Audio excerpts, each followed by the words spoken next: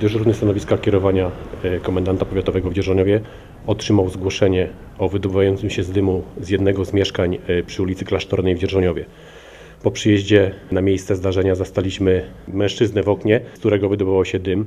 Po sprawdzeniu okazało się, że mężczyzna ten przed przyjazdem e, straży pożarnej ugasił materiały palne, które składował przy piecu i się zapaliły od tego pieca. W chwili naszego przyjazdu wietrzył mieszkanie.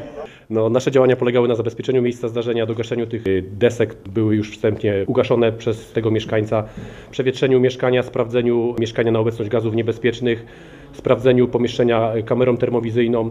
Zagrożenia nie stwierdzono. Na miejscu pracowały dwa zastępy PSP Dzierżoniów oraz zastęp OSP Bielawa.